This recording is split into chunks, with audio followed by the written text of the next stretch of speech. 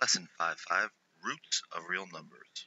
So it starts simple and it gets uh, not complicated, but very lawyer-like, which pops up math a lot. But what's the square root of 25? 5. Square root of 144 12. Seems very simple, but big question. Do I need to take the positive and negative root? The answer is no. This is the principal square root of 25. This is, of course, the principal square root of 144.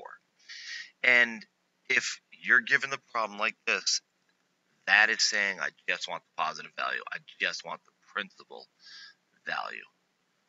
Um, if you have a problem that says this, x squared equals 25, and you take the square root of both sides,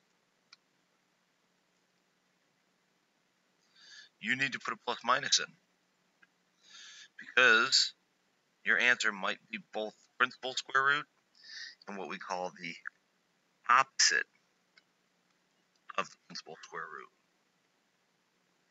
This is what I said about it being kind of lawyer-like. Do not get hung up on it. It's the kind of thing that can make students crazy. Just be aware of it. It pops up here in a few minutes where we have a certain problem with exponent that I'll show you. But this would be square root is 4, and then we're taking negative of it. This would be square root is 10, and then we're taking plus and minus of it. Plus and minus of it. Just be aware. Just be aware. Now, that only happens when we take a square root that's a positive. A square root, a fourth root, a sixth root, an eighth root. If we're looking for the third root of 8, what times itself? 3 times equals 8. Well, that's obvious. It's 2. And the way we'd write that is, this means the square root of 8. It's implied that there's a 2, but we want the third root of 8, so we put a 3 there. And when we have an odd number in here, in what we call the index, this is called the index, this is called the radicand. Not that I'll ever remember this. I'm actually looking at a book right now as I'm saying this. And this is called the radical sign.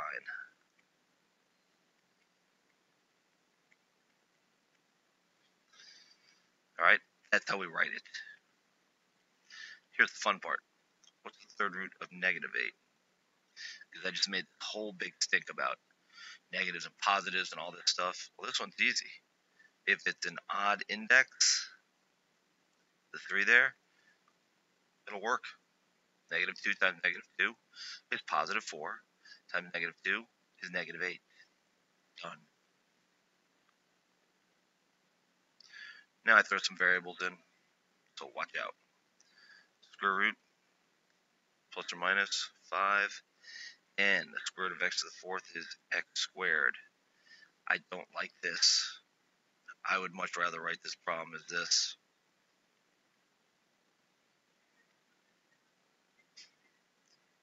And then we know we just multiply the exponents. We're going to get there. We're going to be there very soon. Not actually for a couple of lessons, but we'll be there. So for now, let's just play with it and keep people happy. Square root of 8 is to the fourth. y squared plus 2. Fifth root of 32 is 2. Fifth root of x to the 15th is x to the third. Because we go x to the third times x to the third. Five times we would get x to the 15th. y to the fourth. And not possible.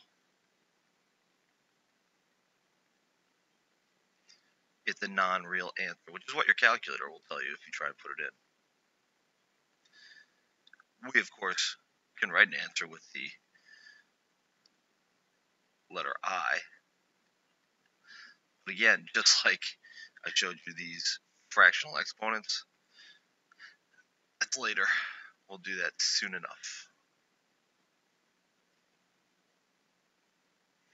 So all this is not too big a deal. You need some practice, you'll get used to it. Now I'm going to freak you out. I apologize for this. It is not my intent to make things harder than they should be. We take the fourth root of x to the 12th. We say, oh, well, that's just x to the third. And it looks like, okay, we're done.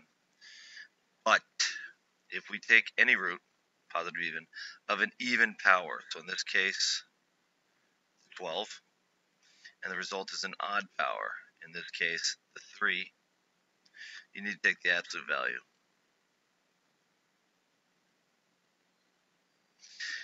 Here's the best way I can show it to you. Square root of negative 5 squared.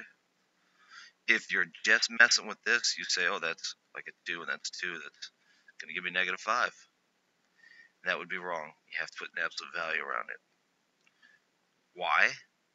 Well, look at this a second. You have to do the inside first. So if you square it, you get 25. square root, you get 5. So this absolute value up above is just accounting for that.